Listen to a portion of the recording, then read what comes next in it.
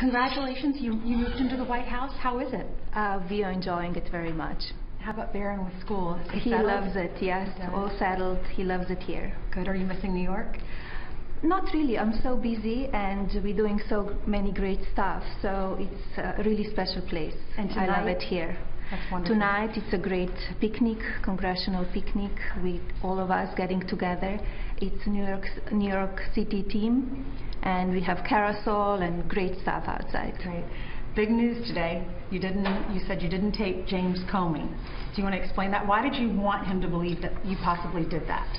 Well, I didn't tape him. Uh, you never know what's happening when you see that the Obama administration, and perhaps longer than that, was doing all of this unmasking and uh, surveillance, and you read all about it, and I've been reading about it for the last couple of months about the seriousness of the and horrible situation with surveillance all over the place, and you've been hearing the word unmasking, a, a word you probably never heard before.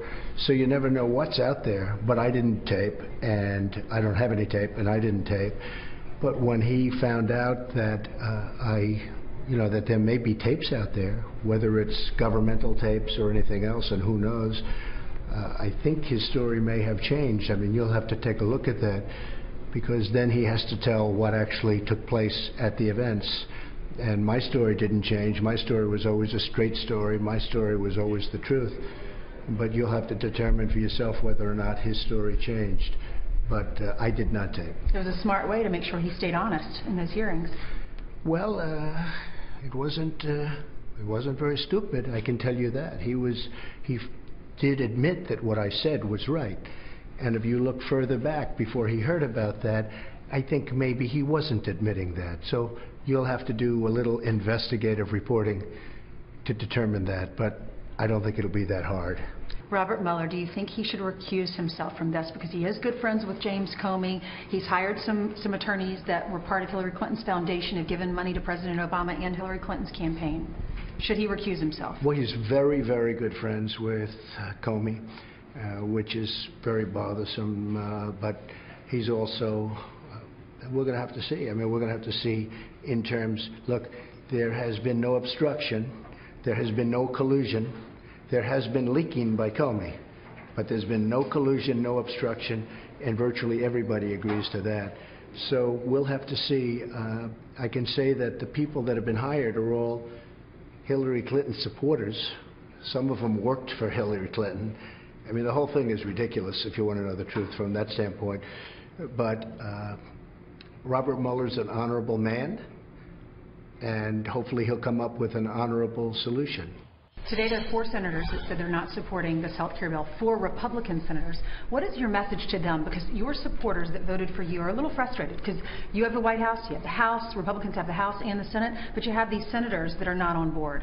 Well, there are also four good guys and they're four friends of mine, and I think that they'll probably get there. We'll have to see.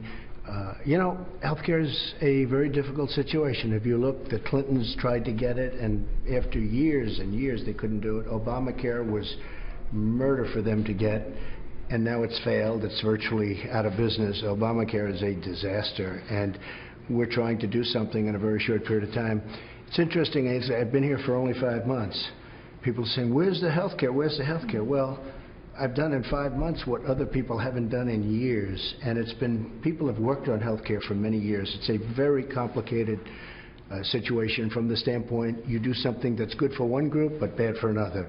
It's a very, very narrow path, but I think we're going to get there. We have four very good people that, it's not that they're opposed, they'd like to get certain changes, and we'll see if we can take care of that. We're getting word now that some Democrats even want Nancy Pelosi to step down. A lot of Republicans think Democrats are in denial. They didn't win this, the, these special elections. They don't have the House, they don't have the Senate, they don't have the White House. What do Democrats need to do? Are they in denial, and what do they need to do to, to get on board? Well, first of all, I hope she doesn't step down. I think that it would be a very, very sad day for Republicans if she steps down. I'd be very, very disappointed if she did. I'd like to keep her right where she is because our record is extraordinary against her. But we'll see what happens. There has been a lot of talk about her stepping down. We'll have to see what happens. Uh, the victory in Atlanta was very big. They spent $30 million. Uh, we had a candidate who did a very, very good job. I think I helped a lot. uh, and we had a great candidate. But uh, we were 5 and 0, as you know, in these special elections. And uh, I think the Democrats thought it would be a lot different than that. 5 and 0 is a big, that's a big margin. And uh, this last one was very interesting, though, because they put everything into it. They had every consultant, they had agencies, advertising agencies. Hollywood. I mean, think of it. Hollywood came out, uh, and in the end, we won quite easily, much, you know, by a bigger margin than anybody would have thought. So uh, they're going to have to do something. I will say this. They are right now obstructionists. All they want to do is try and obstruct. I think they'd do much better as a party if they got along with us, if they called us and said, let's work on health care together, let's work on tax cuts together and tax reform, let's work on infrastructure together, we can do it together. I honestly think they'd do better at the polls. I think the American public is tired of obstructionists.